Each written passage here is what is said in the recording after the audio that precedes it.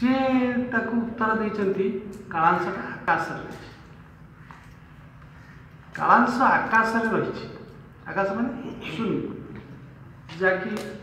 ମାନେ କିଛି ଅନ୍ତ ନାହିଁ ଏଇଭଳି ଏକ ଶୂନ୍ୟ ମଣ୍ଡ ସେ ସେଥିରେ ରହିଛି ଏକଥାଟା ଆମେ ଏତେ ଆଜିକାଲି ଆଗକୁ ଆମକୁ ସେତେବେଳେ ସେମାନେ ଏତେ ବୈଜ୍ଞାନିକ ଥିଲେ ଯେ ସେ କହିଲେ ସେଟା ଆକାଶରେ ରହିଛି କିନ୍ତୁ ସେଇ ଅଂଶଟି ଯେତେବେଳେ ଆମର ଆଇନଷ୍ଟାଇନ୍ ଆସିଲେ ଆଲବର୍ଟ ଆଇନଷ୍ଟାଇନ୍ ସିଏ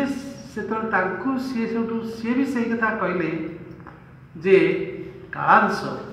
କାଳ ଯେଉଁ ଭୂତ ବର୍ତ୍ତମାନ ଆଉ ଭବିଷ୍ୟ ଏ ଦୁଇଟା କାଳ ରହୁଛି କେଉଁଠି ନା ସ୍ପେସ୍ରେ ଆକାଶରେ ସେ ଏକା କଥା କହିଲେ ତାପରେ ବିଜ୍ଞାନ से अनुसार प्रगति कला फिजिक्स जो मैंने पढ़ी से जानते हैं जी किसी पढ़ी थी तुम कलेज फलेज भर किए सैंस फेन्स पढ़ी थे कि कहे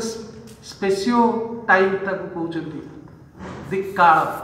बोल कि सी जो थीओरी आइनस्टाइन का जिते भी पदार्थ होने सी कौन आकाश एक एक परिणत ये सब कालांश एक आकाश भितर अच्छी ଆମର ଫେର ସେଠୁ ଯେତେବେଳେ ଆସିଲେ କିଏ ଆମର ଶଙ୍କରାଚାର୍ଯ୍ୟ